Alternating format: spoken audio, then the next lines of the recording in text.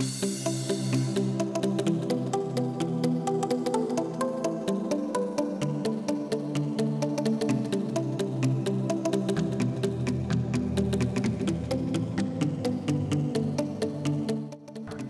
and welcome to another MorePots video. My name is Alias, and today we're going to be taking a look at the Destruction Warlock in patch 5.2. This is the first World of Warcraft video on this channel. It should be good, it should be good. Let's get right into it here. Destruction. Okay, as Destruction, you have five things you should really be worried about, okay?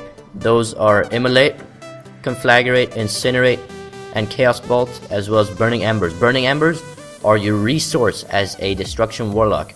Affliction has Soul Shards, and Demonology has Demonic Fury. Like them, we also have our own individual resource, and it is called the Burning Embers. Sorry. Um, so let's move into talents, and we're going to cover the rotation later. So, um, really, there's quite a bit of leeway as to how you want to build your character. It's really depending on the encounters that you are playing and uh, how you want to gear up for those uh, as best as you could. So to begin here, we've got Soul Leech. This is my personal preference. Either of these three are viable. Uh, Dark Regeneration probably more so than Harvest Life because of that 30% um, overtime healing. Uh, Harvest Life uh, possible if you want to do some AoE damage if Although Destruction Warlocks really don't lack any AoE damage, this could be another option. Uh, Shadow Fury or Mortal Coil, uh, really, that's what you want to be going for, uh, because Howl of Terror is useless in PvE. This is a PvE guide, and yes, so Shadow Fury or Mortal Coil. Generally, I will go for Mortal Coil, but right now, Shadow Fury. Uh, Dark Bargain, Sacrificial Pact, and Soul Link. Okay, don't want to be using Soul Link. Just don't want to be using that. It's uh, it's just not viable right now as a Destruction Warlock. Uh, I would recommend Sacrificial Pact or Dark Bargain. Dark Bargain seems to be the thing that people tend to go for the most, and what I go for the most. Uh, Sacrificial Pact is also very good. Uh, it makes you uh, it shields you for 400% of the sacrificed health from your demon. 25% uh, is sacrificed, but if you're not, if you don't have a demon up, your health is sacrificed instead.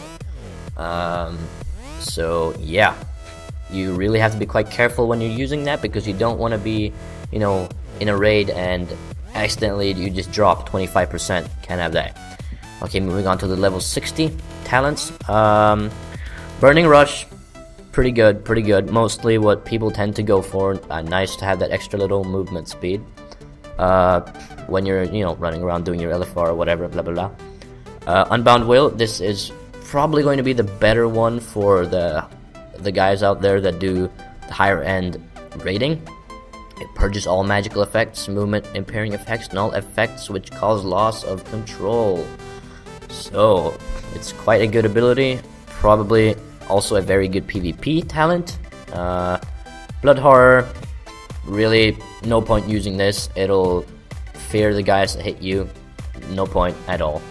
75, these are important talents. Um, they really are. Um, Grimoire of Supremacy is really the only option as Destruction Warlock. It's just going to give you the best DPS output as it is right now in patch 5.2. Grimoire of Service not really, probably more of a demonology thing. You don't really want to be using that right now. We're more of sacrifice. It's possible if you're on a single target fight, but most more times than not, you're going to be wanting to use Grimoire of Supremacy. Uh, level 90 talents. These are all um, quite bad in my opinion. Uh, Cunning is good. I really like that. Kil'jaeden's Cunning is good. Uh, it allows you to cast while moving, and I love it. I move a lot in all the fights I do. I just can't live without it, okay? Mannoroth's Fury increases the area of effect damage of your spells by 500%. Uh, you know, I don't see why you would need this right now. There are probably some boss fights out there that would be good for this.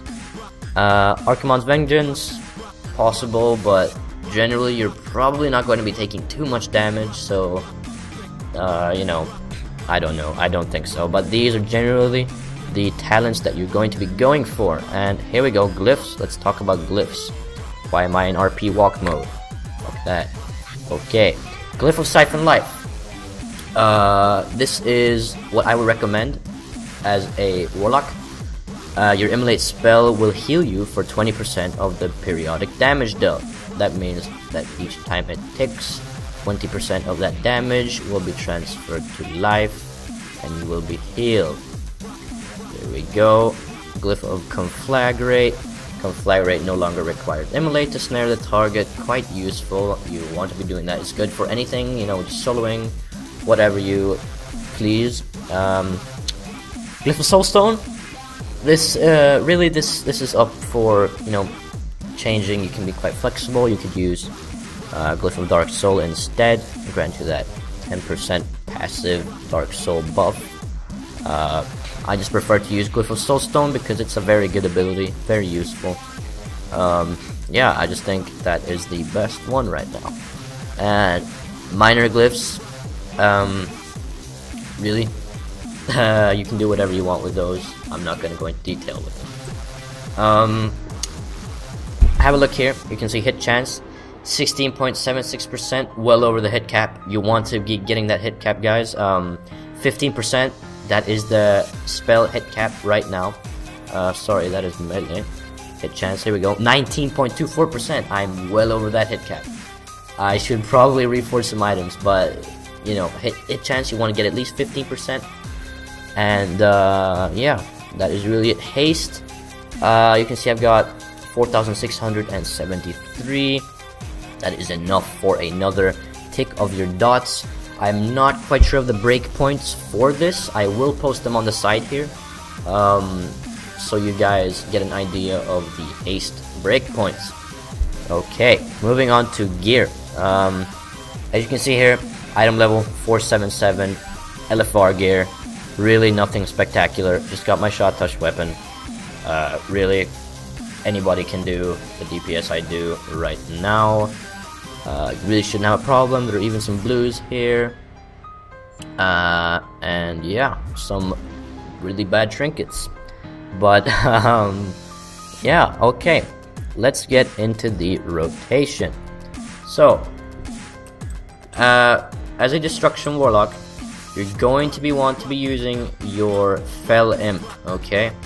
Either your Fel Imp or your Observer will be fine. But I tend to use the Fel Imp.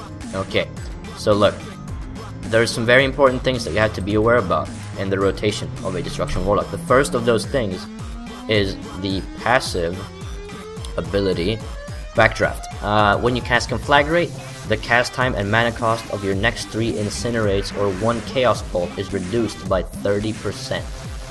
That is huge, guys. You really have to make use of that and you want to be tracking that so you know how many stacks of that you have at all times to maximize your DPS.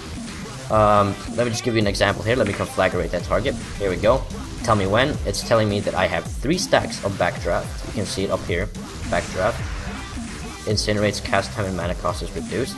Now, uh, also your Chaos Bolt, when you use it, it consumes three stacks. Okay? but your incinerate will only consume one stack of backdraft. So let me give you an example here.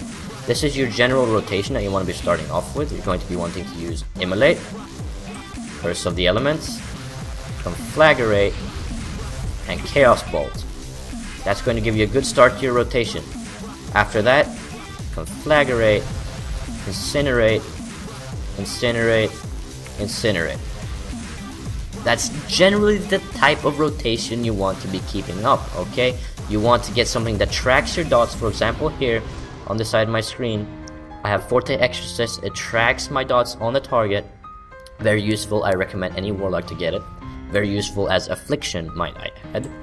Um, so here we go. I'm going to give you an example here. We're going to clear the DPS. And here we go. Immolate.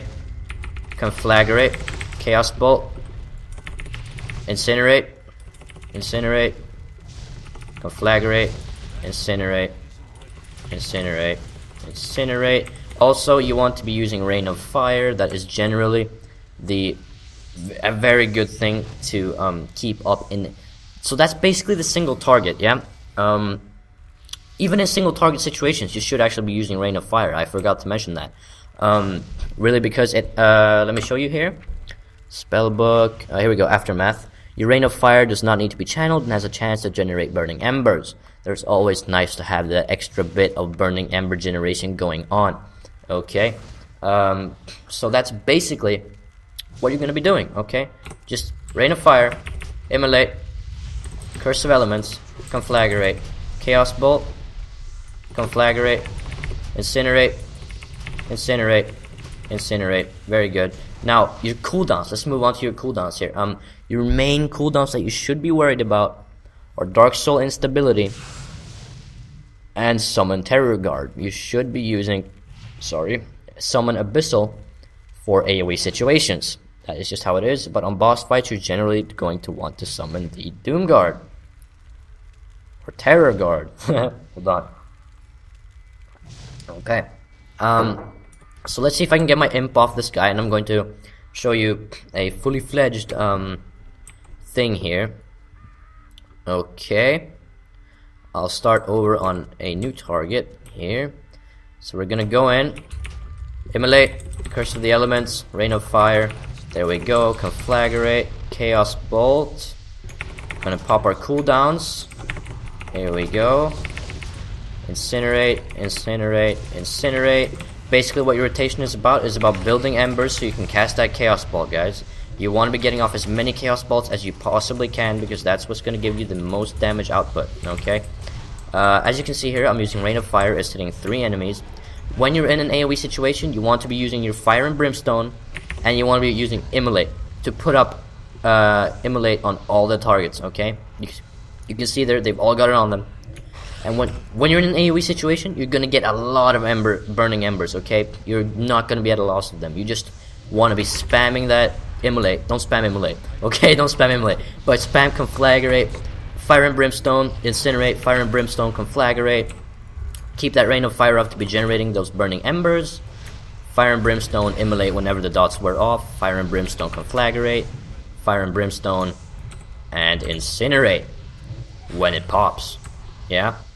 Okay, guys, that is basically the rotation as a destruction warlock. Okay, you're going to have to you know adapt it and so on and so forth. But uh, there's actually one last point I'd like to mention here. Um, Havoc, probably one of your main abilities. Um, Havoc is a very good ability. Okay, um, whenever you're in AOE situations, it look it causes the next Chaos Bolt or three other single target spells cast by the Warlock to also strike this target. Allow me to demonstrate. So look, if we put Havoc on this guy, and then we cast a Chaos Bolt on this guy, it splits like that, and it deals damage to both of those guys. Okay, so that's a huge boost to your DPS. If you've got Rain of Fire and you've got, you know, Immolate on all those guys, and then you use Havoc, and you Chaos Bolt another one, like this, you can see, boom, just massive crits right there.